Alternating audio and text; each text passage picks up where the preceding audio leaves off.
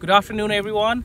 Uh, today we are standing in a field here where we applied chicken litter in the spring of 2018 as a pre-plant application. And after that, we had corn in this field. And after we removed the corn, our, our, our harvested corn, uh, we planted right here um, in this particular field.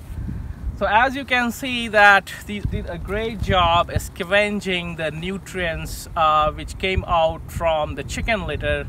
Um, so cover crops in particular are really, uh, they do a good job in removing all the nutrients, uh, the, especially the leftover nutrients and we will terminate this in a week time. And again when this uh, this uh, residue will decompose it's gonna release nutrients for the next crop.